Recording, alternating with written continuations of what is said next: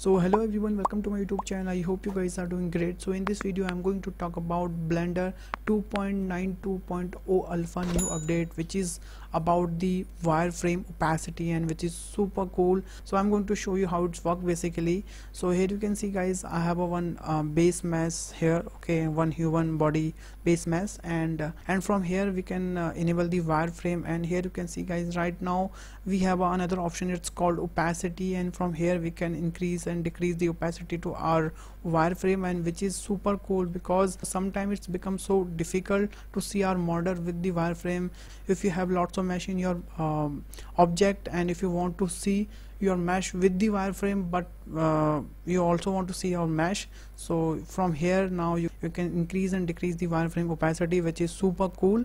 And I hope you guys also like this uh, features because I'm loving this. Okay if I'm talk talking about the earlier version it's a blender 2.90 here you can see.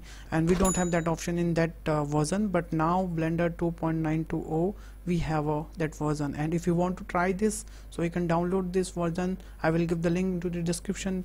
From there you can download. And that's it for this tutorial guys. So thanks for watching this video guys. If you learned something in this video please hit the like button hit the share button and subscribe my channel. Also if you have any queries if you have any suggestion please let me know in the comment box. I will definitely reply comment. So bye bye take care and stay home guys